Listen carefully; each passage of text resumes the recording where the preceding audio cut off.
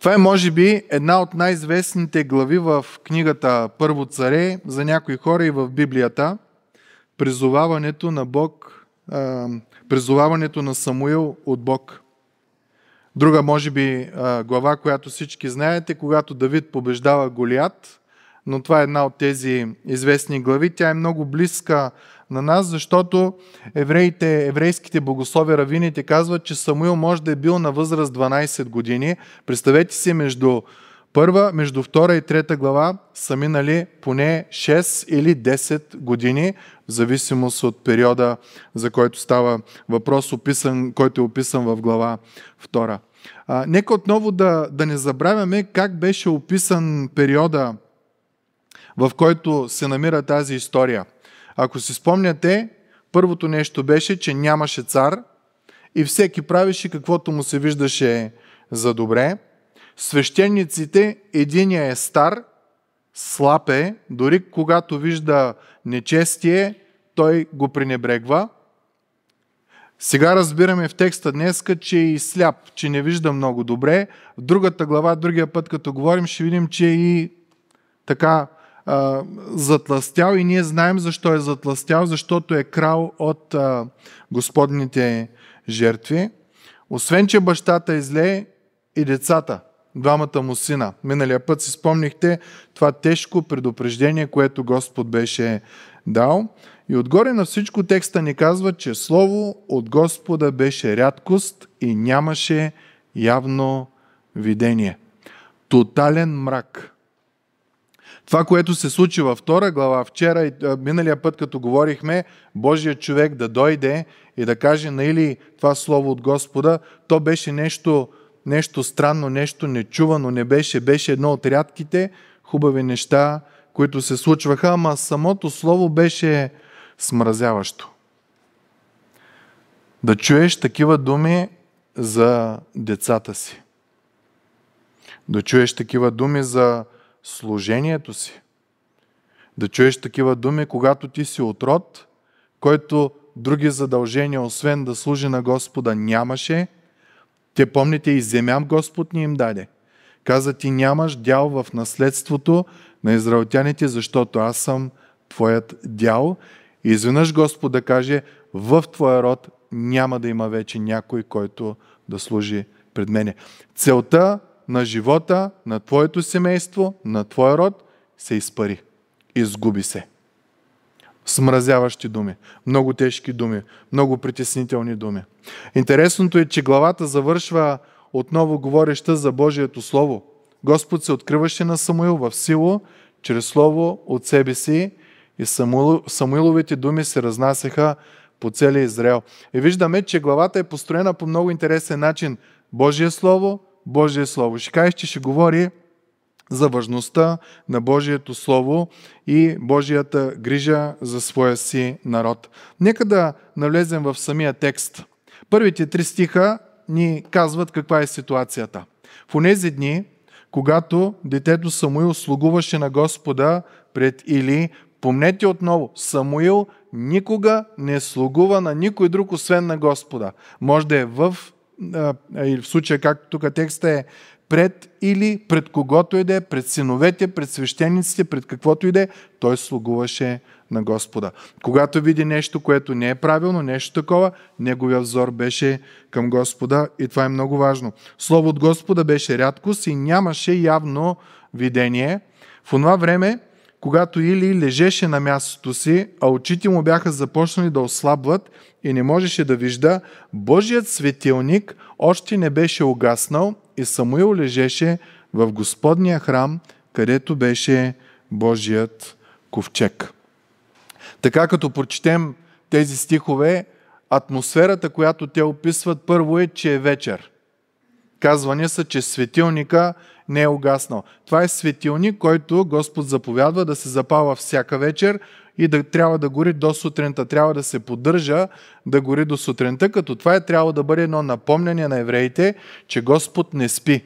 Господ не задремва и онзи, който пази Израел, нито заспива, нито задремва и Господ пази народа си. Та този светилник е много важен. Той е символа на Божията грижа и Божието присъствие всред народа си. Та, вечер.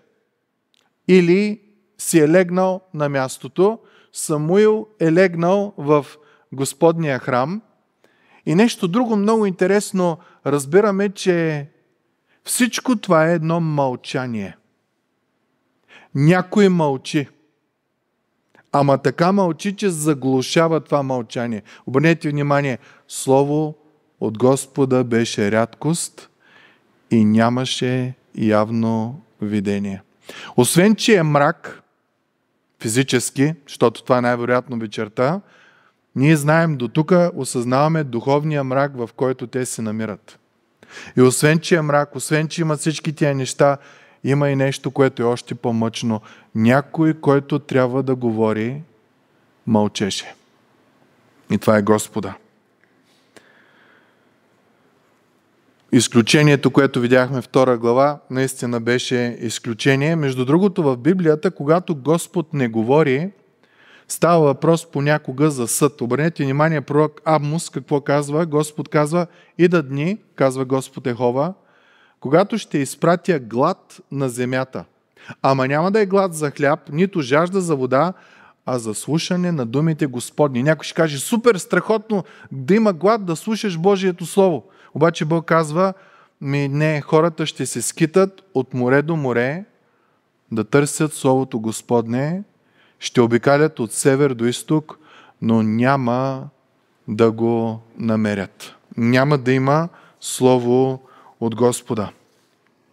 Което, като се замислим за това и като погледнем ситуацията, в която ние живеем, ние имаме ли Слово от Господа? Имаме Словото. Всяка проповед е основана на това Слово. Това е много важно да го осъзнаем. Чисто исторически, първата Библия е принтирана 1454 година. Представете ли си? До тогава, за да имаш копия от Библията, ти трябва да имаш много пари, за да можеш да купиш първо хартия, след това да купиш мастило, след това да наемеш писар, след това да имаш достъп до копия на Библията и да я приписваш. По това време Библията е била достъпна само за манастири, за свещеници, за, за папи и за какви ли не а, работи. Обикновеният човек не е имал достъп до Божието Слово. Ние днеска имаме не само Библия, имаме няколко версии на Библия. Имаме аудиобиблия, има, сега има и визуални, аудиовизуални Библията. По всякакъв възможен начин ние имаме достъп до Божието Слово. А тогава са нямали. Тогава най-вероятно или е имал препис на закона и горе-долу това е било, ама виждаме, че никой нито е чел, нито изповядвал. Текста дори ни казва, че хората са се отвръщавали от Господната жертва. Никакво желание не е имало за купнеж, за, за общение и за изграждане. Въпросът, който тая вечер трябва да се зададем е в твоя дом и в твоя живот има ли Слово от Господа? Поне това имаш ли го? Затворено ли е или е отворено? Прашасало ли е? Защото Господ е избрал да говори главно по този начин. Да има среща с тебе на страниците на тази, преди малко четахме, Светата Библия. Тая свята, различна от всяка друга книга. Книга. Книгата на книгите или книгата на живота. Във вашия дом чуват ли се словата Господни или се чуват словата на политически коментатори, анализатори, филми, актьори? Кое е това, което доминира в твоя дом? Кое слово се чува? Кое е това, което формира мнението си за света? Това е много важно. Библията изгражда един невероятен светоглед – Изпълнен с мир, с благост, с кротост, колкото и лошо да бъде, колкото и неприятно да бъде, каквото и да бъде, ти имаш една отеха в Господа и това променя целият ти начин на живот. Кое контролира емоциите ви? Божието Слово или или всяко друго нещо. Та, както по това време нямаше слово, ние сега имаме словото, ама ще кажеш, че някой път нямаме слово.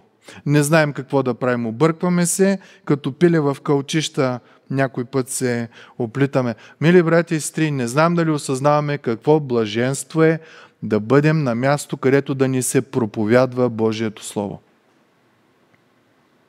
Това е било в продължение на много време. Не е имало такова нещо. По реформацията започва така нареченото проповядване на Словото, тълкуване на Словото, за да може обикновения човечец, човечец да разбере какво е Божието Слово. И от тук ние, които сме учители и пастири, имаме невероятната отговорност да пребъдваме в това Слово и Бог да ни говори, за да можем, казвайки на хората, Божието Слово, с което Бог не е вдъхновил, да може и те да израстват в Господа. Но също ние сме благословени, че имаме и Божието Слово. В Библията има огромна сила. Днеска отново проверявах дали наистина е това. Библията е забранена или ограничена в 52 страни по света. Ако това са бабени деветини, ако това са глупости на нещо остаряло от преди 2, 3, 4 хиляди години, ако това са някакви истории, легенди, измислици, защо? Защо ще бъде забранена? Тая книга има невероятна власт да промени сърцето ти. Никой не може да промени човешко сърце. Само Бог може чрез Словото си. Никой друг не може. И партия да дойде, и режим да дойде, и каквото и да е. Да, може да говориш какво трябва да говориш, да правиш какво трябва, но вътре сърцето ти само Господ може да го промени. Наскоро слушах един богослов, който казва следното – проверката за всяка една църква, дали в нея има глад за Божието Слово, са вечерните служби. И ако се огледаме, ще разбереме. Дали ти имаш толкова глад да, да, да чуваш Божието Слово, да размишаваш върху Божието Слово, да бъдеш сред Божиите хора, че дори, че дори вечер да идваш. Има ли го този глад в нас? Не говоря за те от нас, които, имат, които нямат физическата възможност да дойдат. Слава Богу, много сме разглезени, имаме записи, имаме интернет, имаме, има всичко. Господ е промислил. Но, но когато си на мястото, където се събират Божиите хора, е коренно различно. Господ ни води натам. Когато учи в семинарията, ни разказваха за начините по които богослуженията са се извършвали в някои така по-големите а, църкви по това време. Значи говоря за, за 16 век. Чуйте какво казва, какви са а, а, условията. Първо, всяка неделя проповедта започва в 9. На обяд има обучение на малки деца във всички църкви. В 3 часа в неделя, в 3 часа има втора проповед.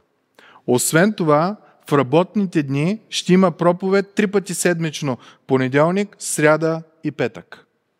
И това е във време, където хората са работили от изгрев до залез. Не е било 8 часа, 9 часа, нали, а, такъв работен ден, ами там работиш докато се вижда и може да работиш. И въпреки това, тогава виждаме хората, тогава имаме едни от най- великите автори, които са писали разсъждения върху Божието Слово. Нашата библиотека е пълна с някой от тях. Защо? Защото тези хора са осъзнавали важността и силата на Божието Слово да променя и да окоръжава. Когато ние и нашите деца не са в учени на подчинение Господне в Божието Слово, това, което става е свободия.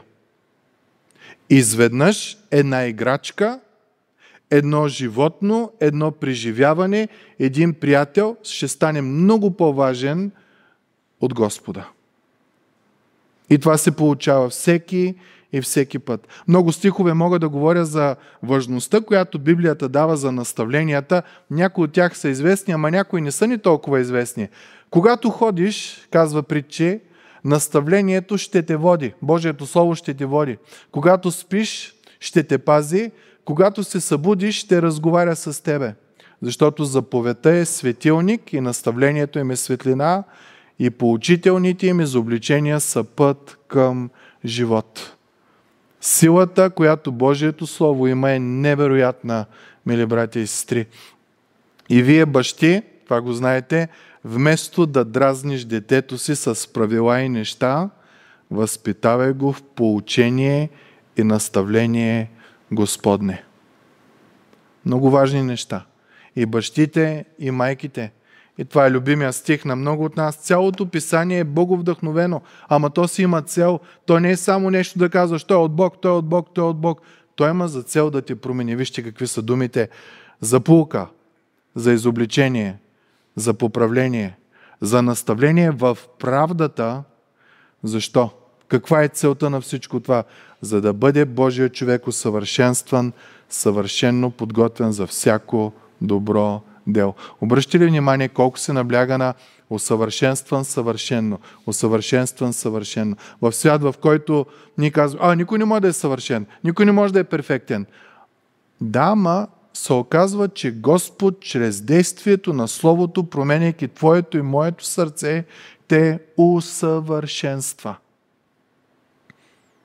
Толкова е велико Словото, което имаме, такова огромно благословение и благодате да може да слушаме проповеди върху Божието Слово. Във времето, в което се развива тази история, нямаше. Нямаше Слово от Господа, нямаше и видение от Господа. Беше тотален мрак. И разглеждайки текста, разбираме, че има още един вид мрак. Да, тук се описва за физическото състояние на очите на Илии, но четейки историята, ние разбираме, че той има и духовна слепота. Виждаше, в очите му се видя, че Ана е пияна и веднага я смота. Обаче неговите синове ще кажеш, че, че не знаеше и не виждаше това нещо. Една духовна слепота имаше в него. И после и вижда, ама не реагира. И разбира се, Божия съд идва. Мили брати и сестри, възможно ли е в нас, които имаме деца, да има духовна слепота? По отношение на духовното състояние на нашите деца.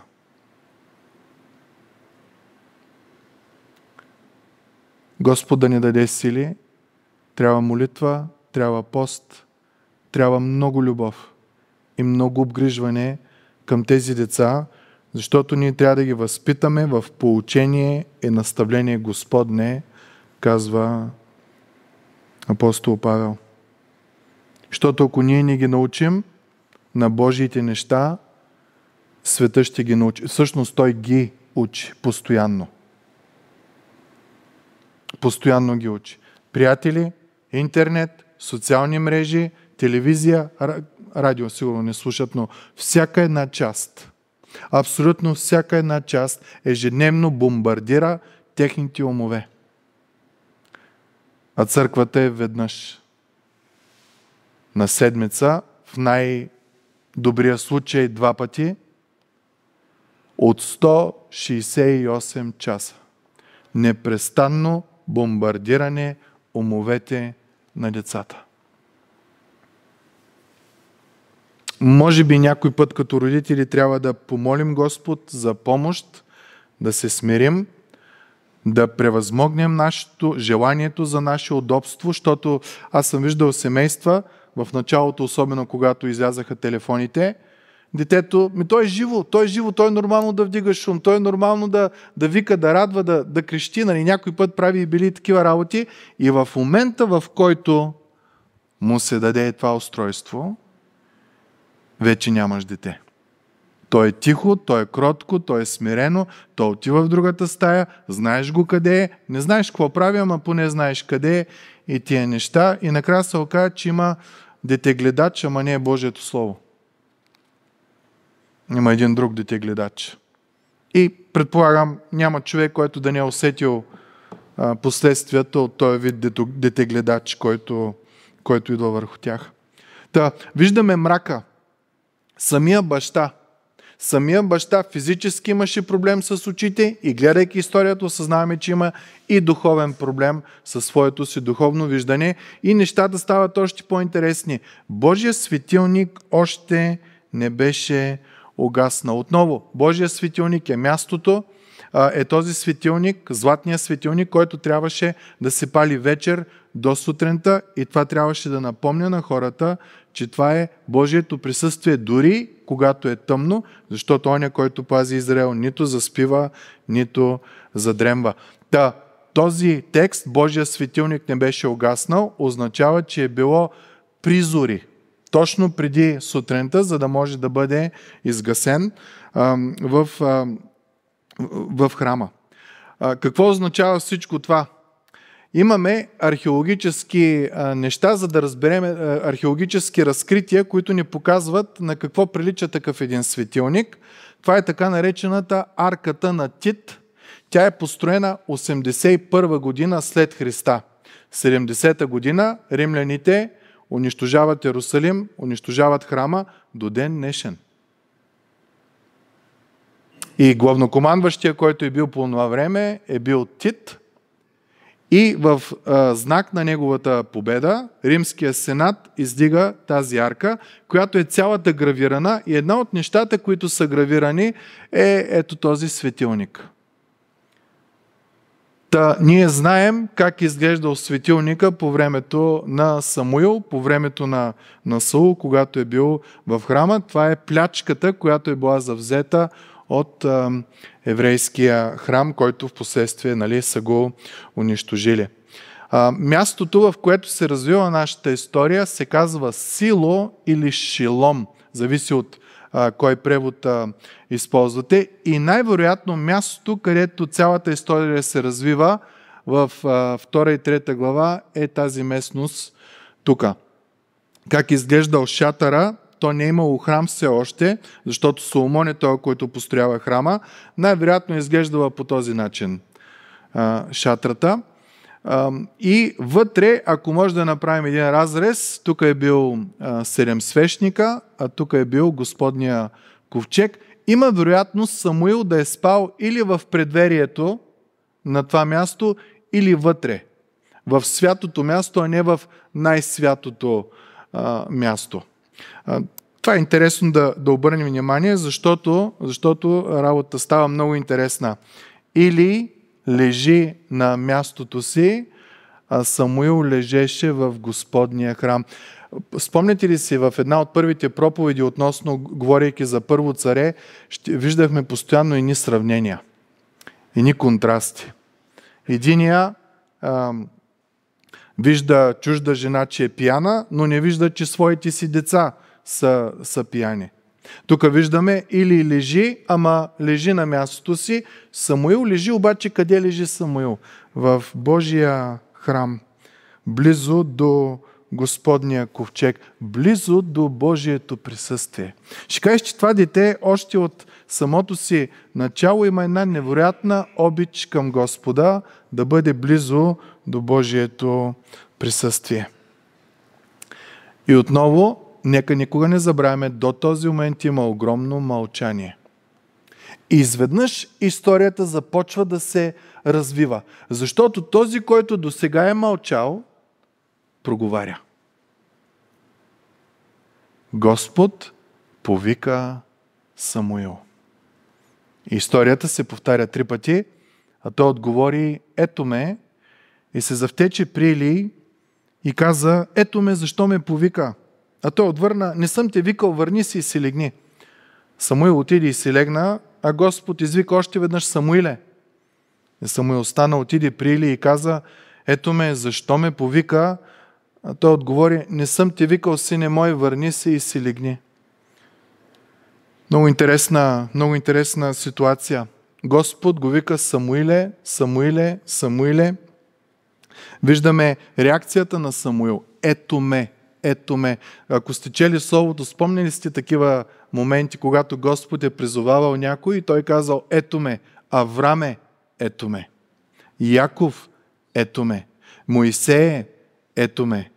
Анания, ето ме. Имаме го постоянно в цялото слово това нещо. Не знам дали успяваме да хванем тук Господ три пъти вика Самуил. Каква благодат! Ако ви на вашето дете му извикате и то не отвърне, какво бихте му казали? Абе аз колко пъти ще повтарям? Умръзна ми да викам. някои случаи се използват и груби фрази от рода на ти добре ли си дете мое, само че фразата е малко по-груба, не, не е за църква, че не чуваш това което, ти, това, това, което ти казвам. Обърнете внимание тук на Божията невероятна благост. Самуиле, Самуиле. И Самуил тръгва на друго място. Самуиле, Самуиле. И Самуил отива на друго място. Самуиле, Самуиле. И Самуил отново отива на друго място. Ще кажеш, че е като тебе и мене. Ден и нощ Господ вика към тебе, защото иска да има общение с тебе. На мястото на Самуил си служете вашето име. И искам да ви попитам, когато Господ би вика, къде отивате? Защото виждаме тук, Самуил има едно леко объркване и той отива при свещеника, защото си мисли, че там е мястото, откъдето го викат. Господ, както викаше Самуил, така вика тебе и мене постоянно, ежедневно, еженощно, по всяка възможен начин, защото Неговия призив е символ на Неговата нежност и на Неговата благост и на Неговото желание да има взаимоотношение с тебе. Не знам дали осъзнаем ли, брати и сестри, но факта, че сме Божии деца, означава, че Бог ни е баща. И когато Той е баща, ние обикновено казваме, да, както баща наказва децата, така Господ наказва тия, които обича. Но както баща общува с децата, така и Господ иска да общува с неговите. Тая част се забравяме понякога. Като Божии деца ние имаме радостта, привилегията – да говорим с татко. И искам да знаете, винаги инициативата започва от Бог. Винаги. Никога не започва от тебе или от мене. А, тая вечер ще моля Бог да ми говори. Винаги започва от Бог. Винаги. И това е огромна благодат. Обаче, не знам, като четем историята, се оказва, че има някакъв проблем. Самуил не, не разпознава Божия глас. А кой беше Самуил до този момент?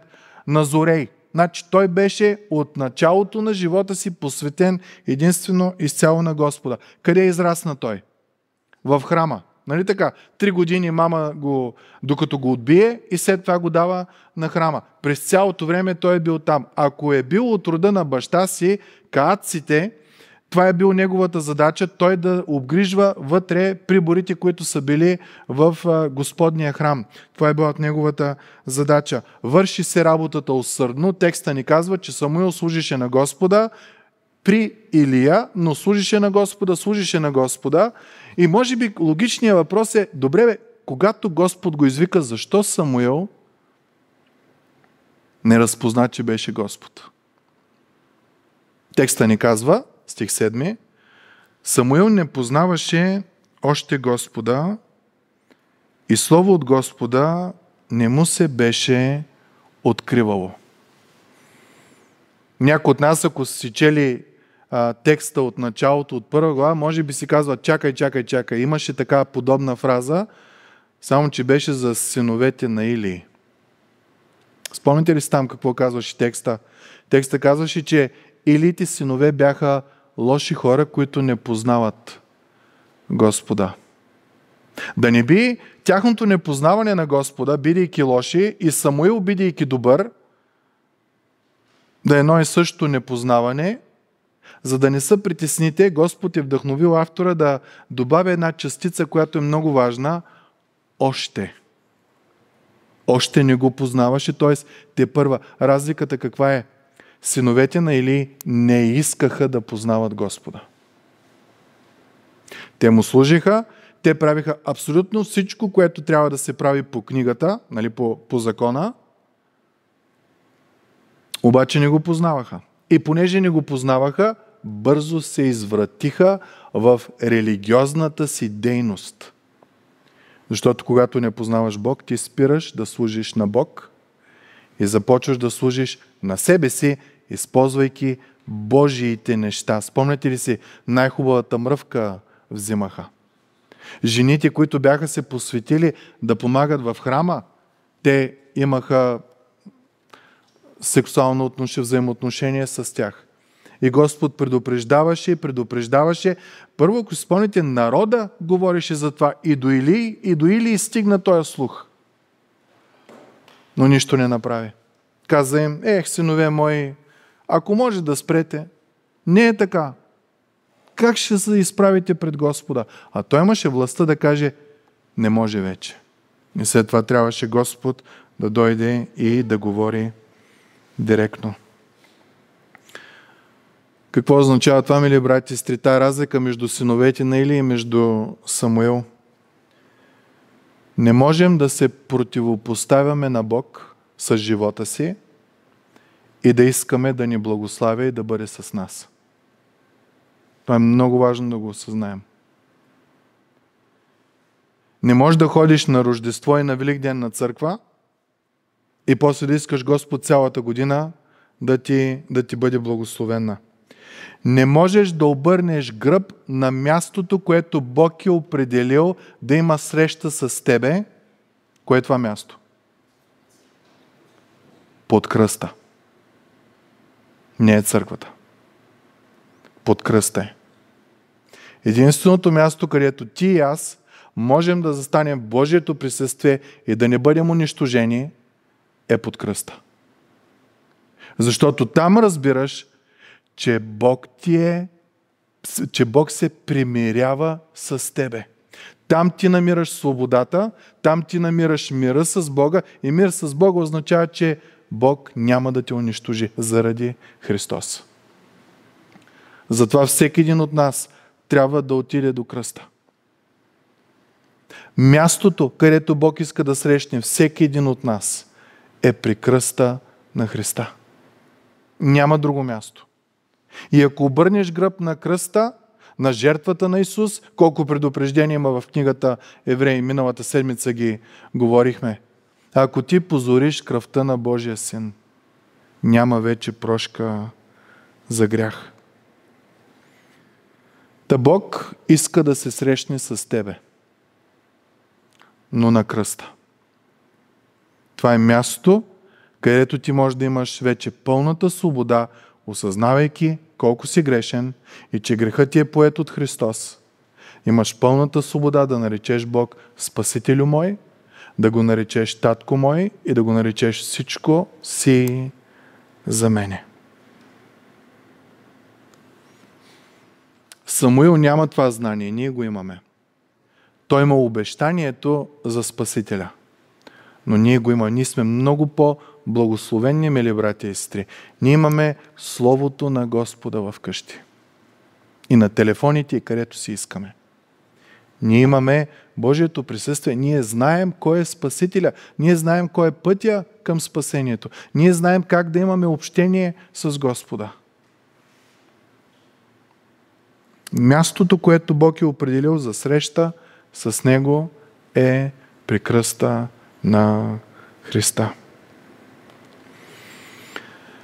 Хубавото в цялата тази история е, че през цялото това време за Твоето и моето спасение, за взаимоотношението на Самуил с Бог, Бог е този, който поема инициативата.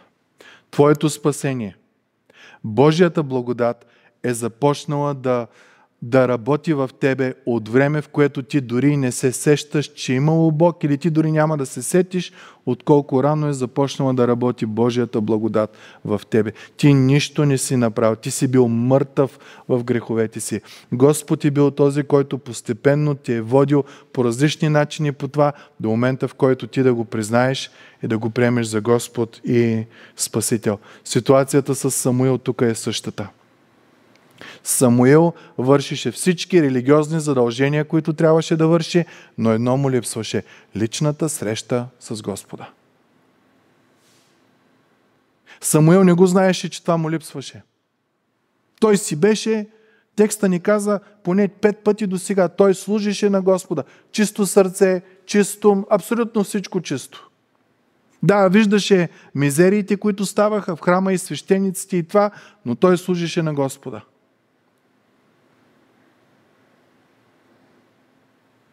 Обаче нещо му липсваше.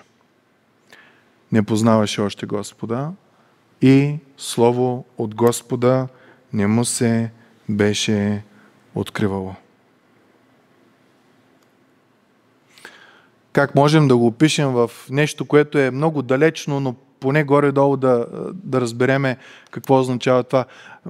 Някой път съм говорил с някои от вас, които са ми казвали, преди да повярвам, аз съм чел Библията, ама нищо. Тук влиза, там излиза, никаква, никаква реакция. Дали са ми да чета мир с Бога, нали? най-хубавата книга за невярващ човек, която може да прочете. Ми прочетах я, ама нищо не стана. И в разговора, като провеждаме, изведнъж идва момента, в който казват, чух гласа на Исус, който каза, елате при мене всички, които сте отрудени и обременени, и аз ще ви успокоя. И аз тръгнах. И отидах. Защото съм слаб, защото съм щупен, защото съм притеснен, защото съм наранен. И той ме зарадва и почивка ми даде, и надежда ми даде. Но до този момент аз не знаех. Четах, четах, четах, но не можех да го осъзная. Тогава един брат от църквата казва, Библията стана злато за мене. Спомняте ли си Давид в Псалом 119 казва, в твоите а, намирам повече радост в твоите поверения, отколкото във всичкото си богатство. И това вече е златото в твоя живот. Ако прочетеш дори мир с Бога или която и да е книга от библиотеката, то няма да е знание тук. То е нещо, което ще работи в тебе, ще изпълва една жажда за познание повече и повече на Господа. И така, след това Бог продължава. Господ четвърти път отива при Самуил. Каквото и да става, Бог има желание да има общение с Самуил. Бог има желание да има общение с тебе и с мен, мили братко и сестро. Бог имаше желание да има общение с синовете на Или и с Или изпрати им пророк, който да ги предупреди, но те не искаха да чуят. И Господ отива при Самуил и повика Самуил за трети път. Той стана, отиди при Или и каза, ето ме, защо ме повика. Тогава Или разбра, че Господ е повикал детето. В този стих частта, която за мен е най-интересна е, че има някакъв проблясък в Или. Чуйте какво казва текста. Тогава Или разбра. Тогава Или разбра, че това не е обикновено призоваване. Може би Или си казал, бе, аз съм свещеника, защо Бог на мен не говори, за да мога да кажа на Самуил? Може би си казал, а, аз съм окаян. Аз и синовете ми са окаяни. Господ, Господ вика, но Господ вика Самуил. И му дава, може би, най-добрият съвет, който Или дава в цялата книга, където е споменат. Му каза, а, иди и си легни. И ако те повика, кажи, говори Господи, защото слугата ти слуша. И така Самуил отиде и си легна. Мили брати и сестри, от тук нататък, ако до сега историята, значи какво беше? Пълен мрак и тишина. Този, който трябва да говори, не говори. Изведнъж се прояснява. Този, който трябва да говори, започва да говори. И много настоятелно. Защо? Защото иска гласа да му бъде чут. Ще кажеш, че сърцето на Самуил беше съвършено разположено пред Господа, и Господ е търсил кое е това сърце, за да може той да се покаже силен и мощен. Но това не е края. Зазорява се. Светлина идва. Вижте по колко драматичен начин продължава историята. Господ дойде. Не е само глас, не е само какво си чул, ами е присъствие. Спомните ли си първи стих? Мрака какъв беше? Нямаше слово от Господа и нямаше видение. Тук имаме и слово, и видение. Тази история е толкова драматична, толкова прекрасна, как от един невероятен мрак, от едно невероятна тъмнина, ужас в живота, изведнъж започва да се зазорява. Ама как се зазорява? Ще кажеш, че идва този, който е светлина. Не само постоянства, иска, иска да има връзка, иска да има връзка, иска да говори, иска да бъде чуд, иска да има взаимоотношение, иска, иска, иска, до степен, че той, който е корумпирания, така да кажем, и духовно, и, и материално, осъзнава, че това е Бог. И дава най-добрия съвет на детето. Когато го чуеш, кажи му, кажи Господи, защото слугата ти слуша. И когато Самуил прави това нещо, Господ дойде, застана и извика както преди това Самуиле, Самуиле. Имам чувство, че Самуил се е изкарал къла, защото пропуска най-важната дума от това, която му каза Или. Господи. Вижте реакцията му. Говори, защото слугата ти слуша. Какво означава тази история, мили братко и сестро? Господ ще те търси докато си жив. Не само да те спаси, но да има лична връзка с тебе. Да наруши личното ти пространство. До степен, в която трябва да кажеш, сараснах се с Христос и не вече аз живея, а Той живее в мене. И живота, който сега го живея, го живея с силата на Божия Син, който ме възлюби и даде себе си за мене. Колко по-сме благословени от Самуил. Ние знаем кой е Спасителят. Ние имаме Неговото Слово. И може да го изслушаме буквално на аудио, може и да го гледаме и на видео, можем и да го четеме, можем и да си подчертаваме и всичко да правим. И имаме възможност да ни бъде проповядвано Божието Слово. И знаете ли, когато ти постоянстваш в Божието Слово, както Самуил постоянстваше в служение на Господа, служение на Господа, служение на Господа, сред време на мрак, в даден момент Господ започва да премахва мрака в неговия живот. И той не само служи, изпълнявайки литургията и всички неща, които трябва да служи, той вече ще познава Господа. На края на главата, другата сряда, като се съберем, ще видим, че Господ продължава да му говори, постоянно му говори и не само на него.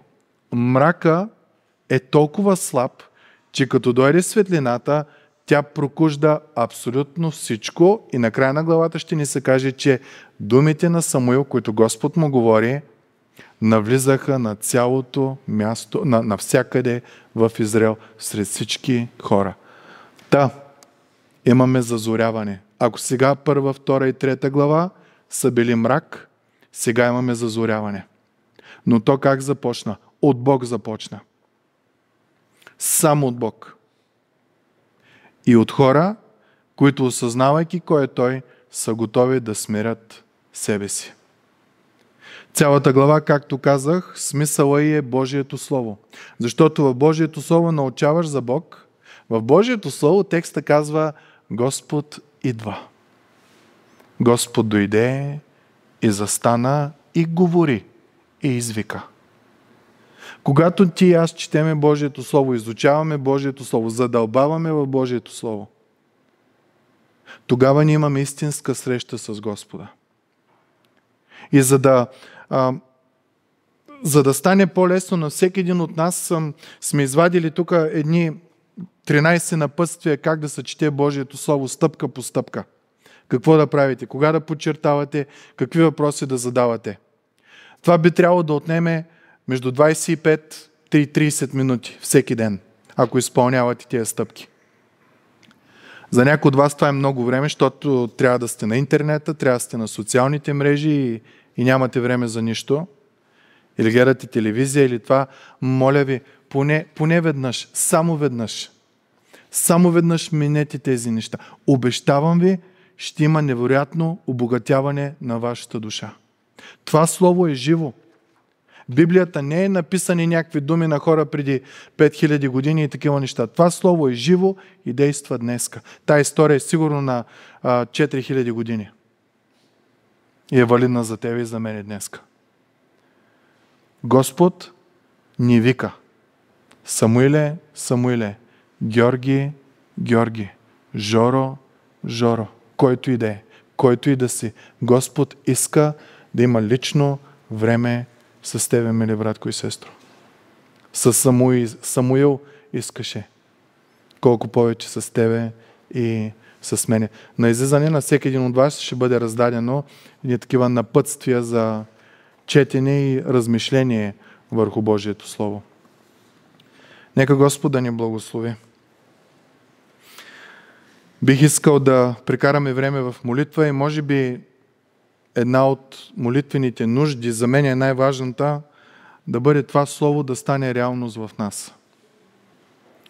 Всеки един от нас да не познава Бог само по литургиката или по начина по който са службите, идваш, отиваш си, пееш, пускаш нещо в, в дискуса и тия неща, а да има нещо повече. Сърцето ти да гори за Господа.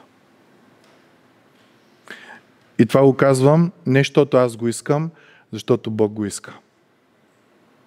Купнежа на Бог е да има общение със своите си деца. На всякакво ниво. И той няма да спре.